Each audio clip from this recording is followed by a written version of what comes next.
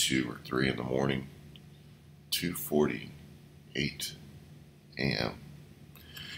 Oh, anyway, um, every so many years, it's about three years on average, I get hit with sinus problems. And um, it's like somebody's taking a knife and slowly just turning it in my eye, in the back of my head, on my right side. And there's no way I can escape it or nothing. I just got to go through it. And um, so this is unfortunately that period of time.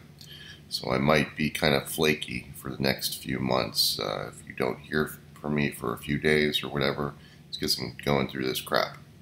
Um, but it happens every so many years. I think it's something to do with dust or winds from Africa, believe it or not. I've had it since I was a kid, and uh, it's not it's not fun.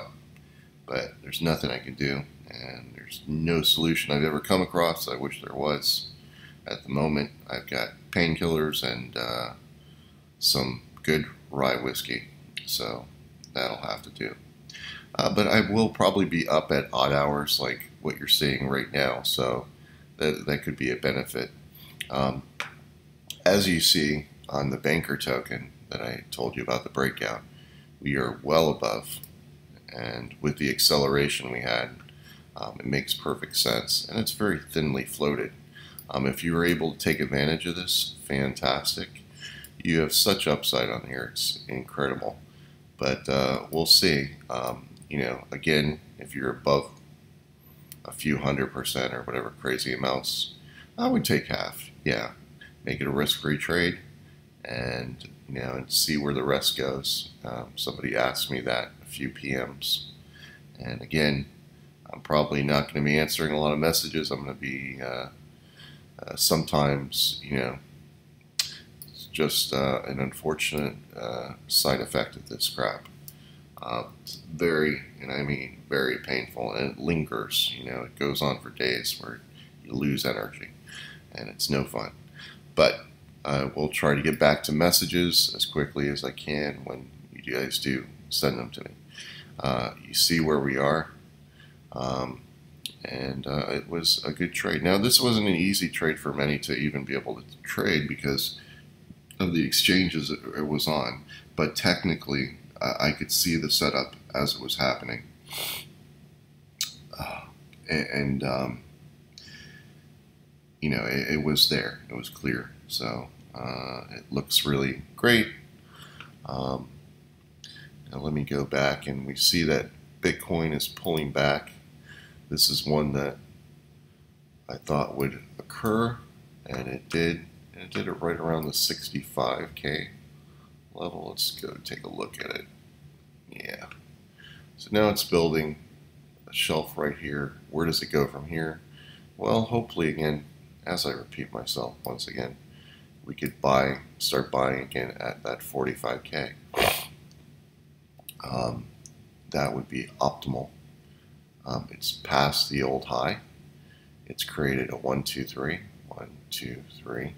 So if it's able to break this, then the next one up would be towards up here, towards this uh, 70 to 73 level up here. So that would be the next step up if it breaks this 1, 2, 3.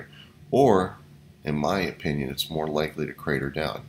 Even though everything that you've seen throughout here has been positive, which it has been for a while, this is actually build, building up a negative, uh, negatively in volume and also in price action. So those are two things that we are able to spot. That's why you see me going more towards the sell side, like with our friend BNB, which I shorted from 500 and 600.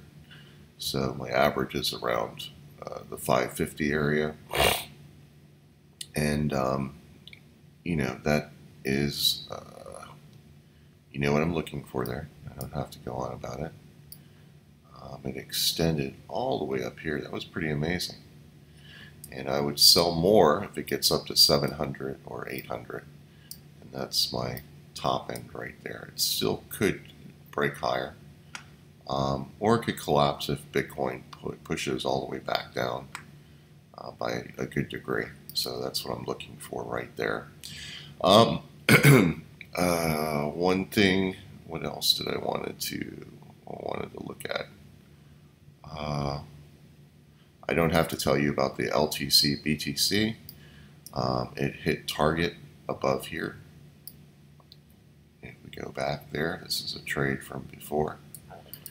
And from the buy zone that was down there, if you guys took advantage of this one, um, it is now traded above the target. And there you go. End of trade, end of story. Um, and also, let's go back to Wing. Well, last one I'll talk about is Wing. Wing went over and kind of double topped here, and is it's in the middle. Uh, if you did take half, as you know, per suggestion, anytime you're above 100%, taking half, that's what I do. Um, again, I can't tell other people how to trade. I am not a, financial advisor. I'm just a person who uh, would show you my thinking, psychology, my trading, and, and hope uh, people can uh, benefit off of that knowledge and uh, you know and so forth. Uh, I am completely humble to the market, as we all should be. Uh, it's not about being right or wrong. It's about you know paying attention to what's there. That's true. That's honestly true, and that's the most important thing. And it, all it takes is observation, and planning, and execution. Those three things. Uh, anyway, uh, I'm uh, I'm going to try to go get some sleep. I need it. I'm exhausted.